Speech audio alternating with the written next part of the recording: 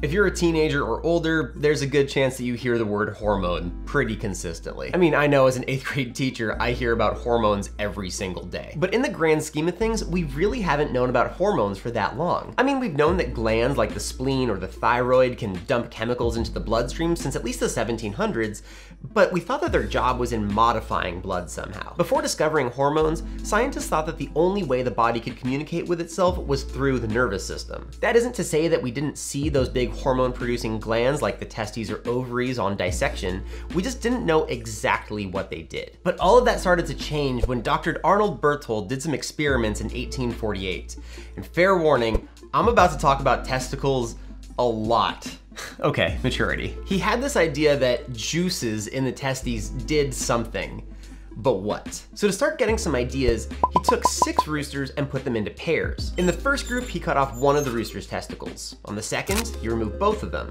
And in the last group, he cut off both pairs of testicles, but inserted one of them into the other's belly, right in between the intestines. And after a little bit of time, he started noticing some behavioral changes. The totally testicleless roosters got fat and lazy. They stopped chasing after the hens and overall were just way lower energy. But the roosters with one testicle did not. They had pretty similar behavior to before the experiment. They were chasing after the hens, they were pretty aggressive, and forgive the pun, they were pretty cocky. After the experiment, he found that that one testicle was swollen, maybe to compensate for the other one that was chopped off. Okay, but the last group, the roosters with the weird testicle stomach swap thing, they behaved a lot like the one testicle roosters. Berthold repeated the testy trade experiment with different birds and the same thing happened. It didn't matter that the testicle was in a different place than it should be, it still did its job. Or at least the job that it was expected to do. And if you were a typical 19th century doctor like he was, you could explain this new behavior if you saw a bunch of new nerves attached to the donated testicle, right? According to the science of the time,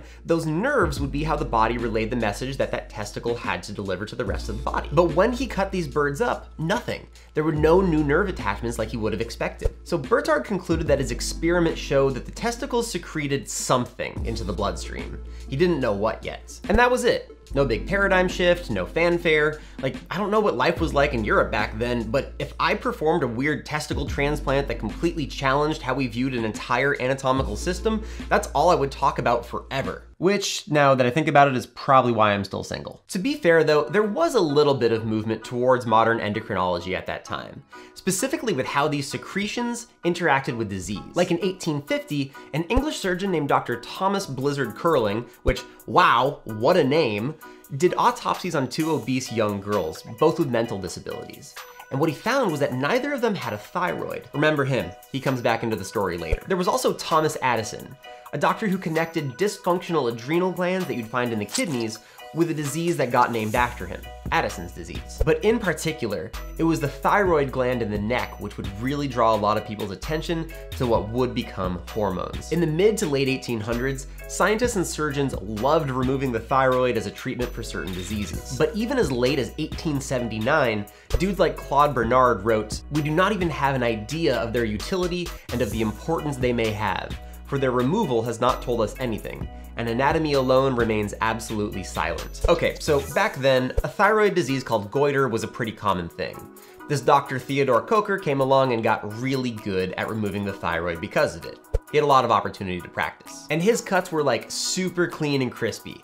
He ended up breaking the post-op survival rate record like multiple times over. Dude was good. But he notices that when he removes the thyroid entirely, there's a chance that his patients actually develop some common symptoms. And they were the same symptoms that Blizzard's case study on the two girls had back in 1850. He and his colleagues tried explaining it, like maybe the thyroid regulates blood flow and respiration since it's in the neck. He was thinking local action, not body-wide. But a few years later, Kocher took some thyroid tissue and implanted it back into a patient who had their thyroid removed.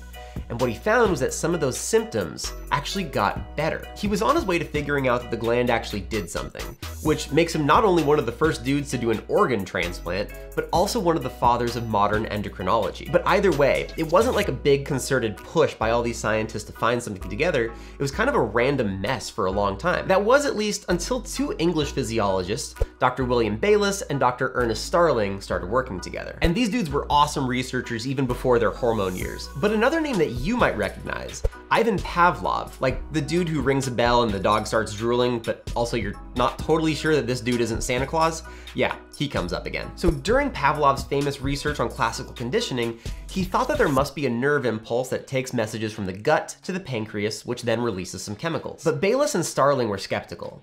They had stimulated the vagus nerve in animals, this is the nerve that controls the digestive tract, and they got nothing. All right then, but that doesn't show that it wasn't other nerves. So they took a dog, detached the nerves near its gut, and observed whether the pancreas would still secrete its juices. They put a chunk of acid into the dog's gut to simulate digested food, and sure enough, even without the nerves, the pancreas still secreted its chemicals. The nerves didn't matter that much after all even though those nerves got detached from the gut, the pancreas still got the message. This moment was a big freaking deal. It was the first time that scientists had shown that one part of the body could affect another part of the body far away from it through the bloodstream. Of course, anytime you challenge how people think about a generally accepted concept, you're gonna get some pushback. And there was, but this new specialty of endocrinology, the study of hormones, started weaving into medicine pretty quickly. Like doctors started understanding that your body could be influenced by nerves and hormones. And this new concept even started tying together some loose ends of medical misunderstanding. Like some doctors who wondered why women who start nursing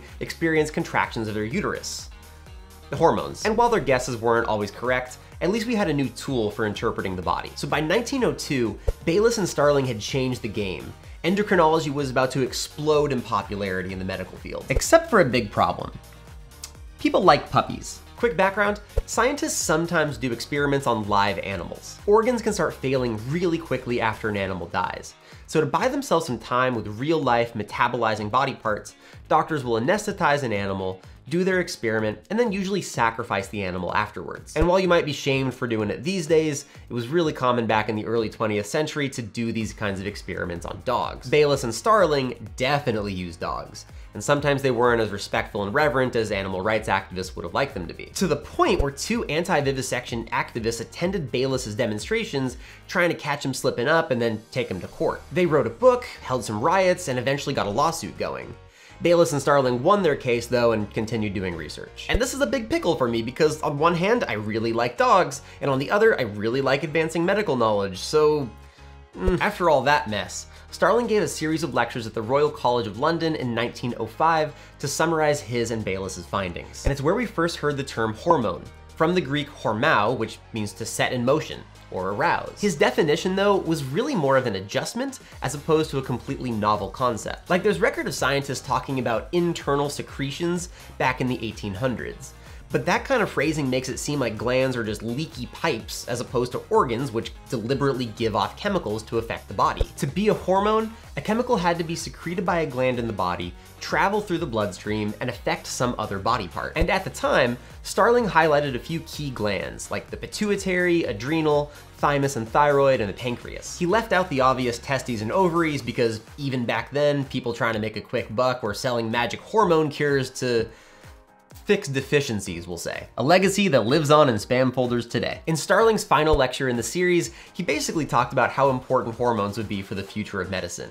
And he was right. By the early 1900s, the stage was set for some serious breakthroughs. Scientists and surgeons would be obsessed with hormone imbalances and deficiencies. The next century would feature grave robbing and some dubious science, and a lot of testicles.